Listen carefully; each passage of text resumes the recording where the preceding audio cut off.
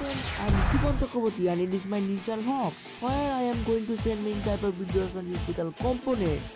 We'll learn about Arduino, we'll learn about cables and how to do professional soldering and we will also learn the programming in our mobile phone and we will make many type of sensors, robots and we will make many type of circuit boards. So let's begin. Have a nice day.